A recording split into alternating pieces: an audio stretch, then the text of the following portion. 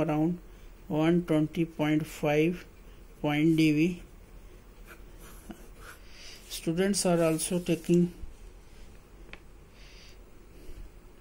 these values and put it in these equations. And uh, now what you do now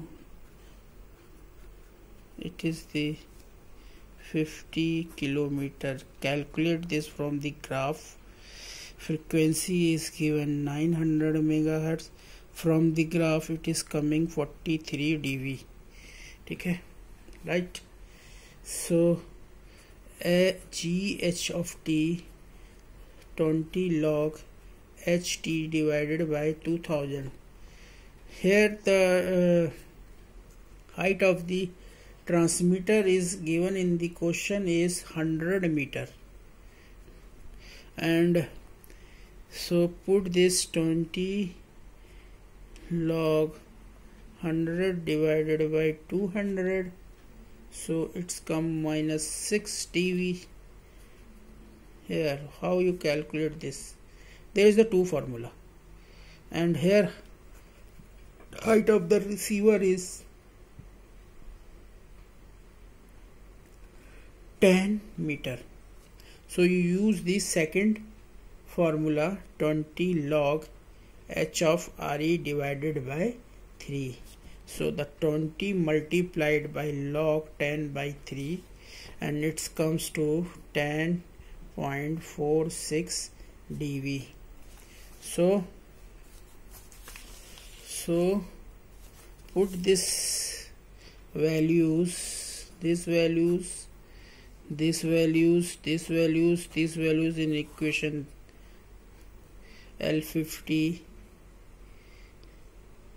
dB LF is 125.5 this attenuation factor is 43 dB from the Okumura graph. Minus g of t is minus 6 dB 6 dB minus HRE is 10.4 dB minus G area. Minus G area. You calculate the minus G area which is also coming from the graph around 50 distance separation distance 10 9 dB. Put it this in the equation. So the value is 150.504 dB. The 50 percent percentile either it is above at the receiver or it is either 50 percent below the receiver is 150.5.04 dB. The move to the second part of the question that is the EIRP calculate in dBm so it is nothing but tan log EIRP mm, milliwatt before you going convert into dB its dBm is same as the milliwatt so okay. convert into the same unit that is 1 into 10 ki power minus 3 so it come around 10 log 10 ki power 6 so it is this 60 60 dB m.